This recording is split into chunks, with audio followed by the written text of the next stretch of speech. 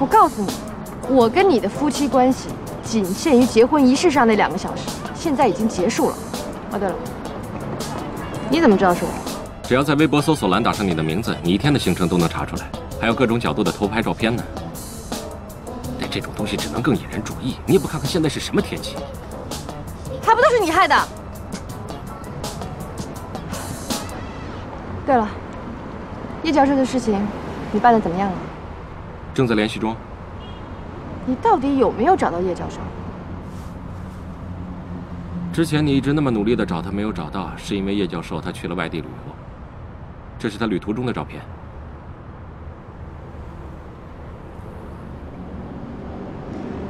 那他什么时候回来？这你就别管了，不会耽误了瑶瑶的手术。暂且相信你，有消息了记得给我打电话。走了。哎，呃，我今天来是有正经事要跟你谈。什么事？你明天和梦想搬到我家来住吧。你还没疯够是吧？结了婚就应该住在一起的，不是吗？过来，过来，沈总，我陪你演了一出结婚的戏码，已经仁至义尽，你别得寸进尺。我走了。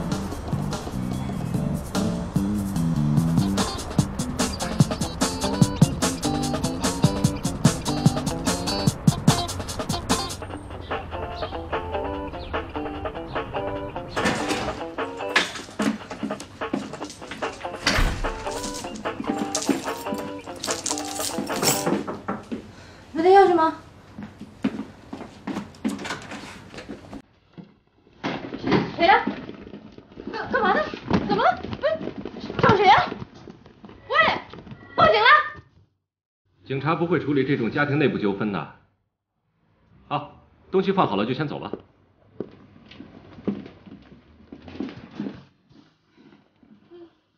你要干嘛？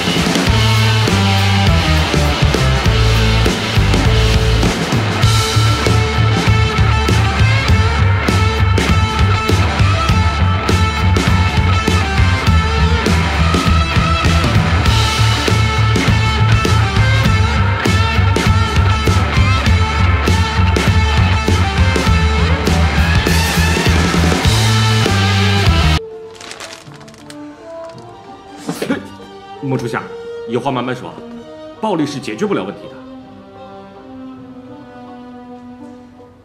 好我一会儿就去收拾行李，等梦想回来之后立马搬走。租赁合同可是签了一年呢，那么多违约金可就要白扔了。违约金我一分都不会少给你。不过等我搬出去之后，我只希望你能从我的生活当中彻底的消失，这个要求不过分吧？跟我来，过来。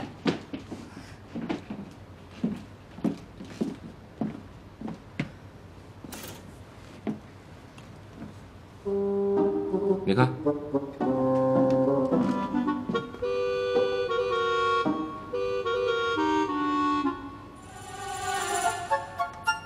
谁啊？记者你把记者也带来了？孟初夏，你的神经还真是粗啊！这些记者早就在你家外面蹲守好久了。我虽然不是什么明星，但是作为沈氏集团的总裁，还是有一定的影响力的。所以我的生活里一直有传媒记者的影子，再加上婚礼的高调曝光，你早就已经跟我绑在了一起。今天就已经有记者拿着你在街上的照片来问我了，所以我才要求和你住在一起。因为如果不这样做，媒体就会说我们感情不和分居。刚结婚的夫妇就分居，会引起什么样的轩然大波？你不会不知道吧？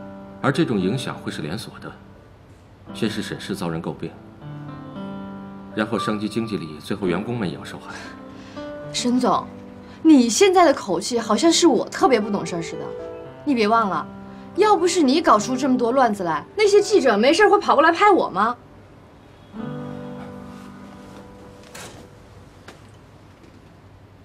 初夏，我明白你现在所有的无奈和愤怒，但是你确实说过，只要有人能够接受你、照顾你，还有梦想，你就愿意和这个人好好生活。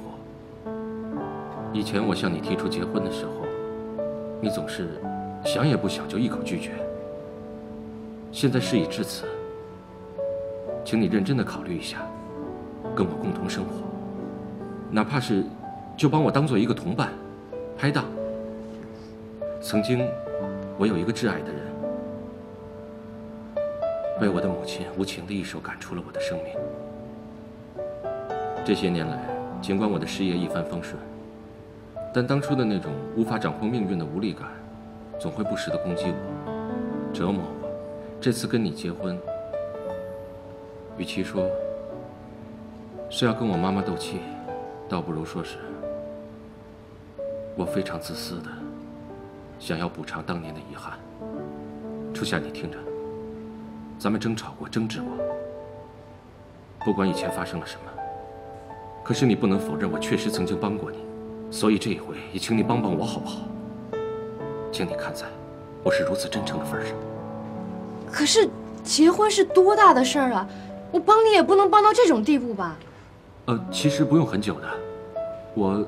只请求你让这段婚姻真的存在过，哪怕只有一阵子也行。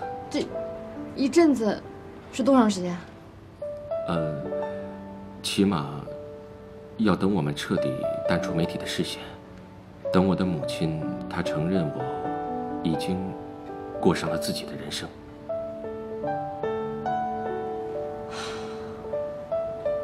怎怎么跟梦想说呀？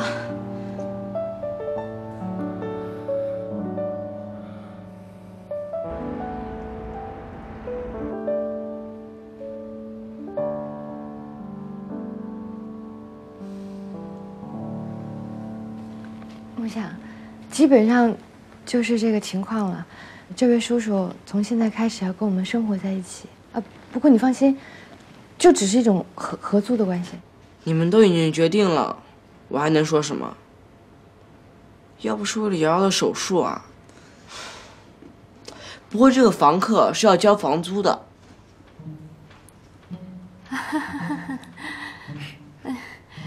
梦想，这这件事儿吧。他有点复杂，这位沈沈叔叔，其实就是我们的房东。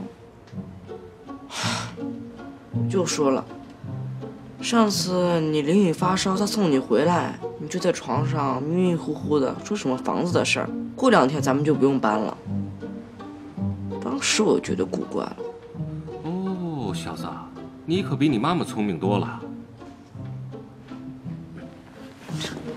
那当然了。这个家呀，还是有聪明人的，所以请你呢以后不要兴风作浪了。回屋了啊！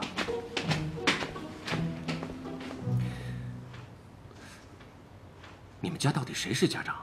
关你什么事儿？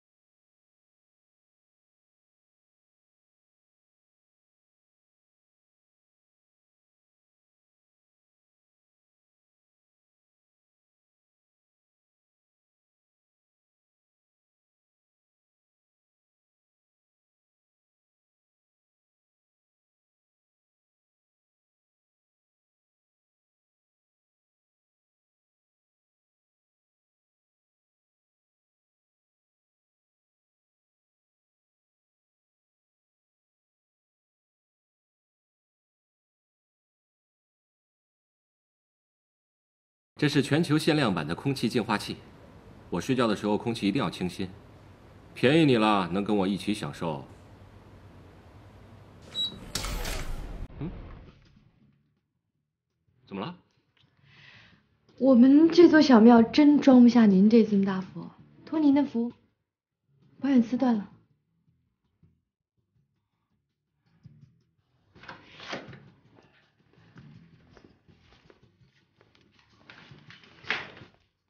啊，我都忘了。以前我派人保护你的时候呢，他们跟我提起过，说你家线路不好。还好意思说你找人跟踪我的事儿是吧？不提了。哎，孟静夏，从今天起咱们可真过上同居生活了。哎，你说话能不能注意点啊？你再这样我真反悔了。明白了，我的意思是，孟初夏，我愿意像答应若楠的那样，给你和梦想你们母子俩最好的照顾。如果有一天你爱上了什么人的话，我也会二话不说拱手退出，并且负责解释所有的真相。我不需要任何人照顾，我只希望你能够尽快履行你的诺言，让叶教授给瑶瑶做手术。还有，就算我们俩住在一起，也希望你能够离我。